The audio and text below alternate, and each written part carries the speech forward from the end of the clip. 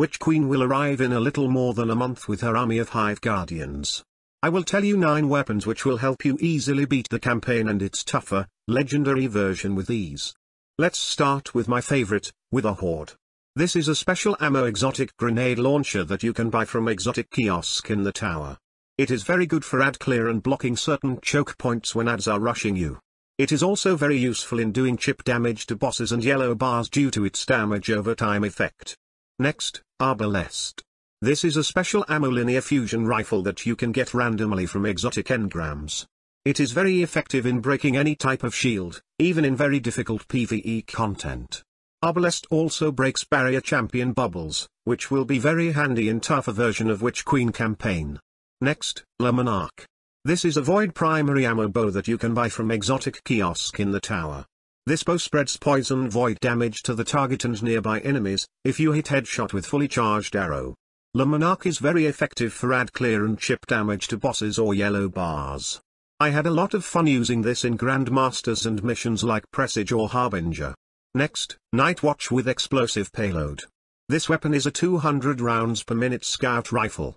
This can roll with explosive payload which helps you do extra damage. You can also take out annoying enemies from a very long distance, in case you have to play passive during the legendary version of Witch Queen. This is a random world loot drop. Next, the Lament.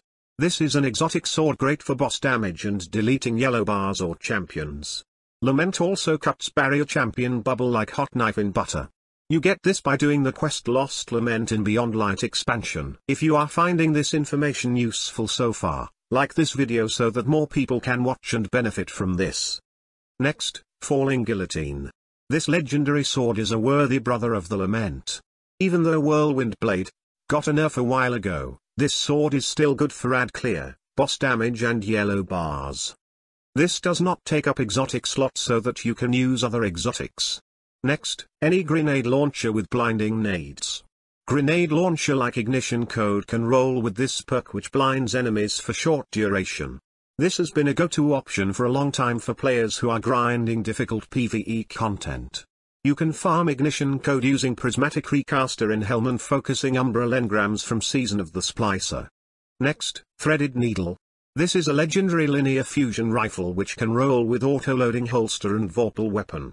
It is awesome for boss damage even without artifact mods like particle deconstruction. This weapon pairs extremely well with Witherhoard.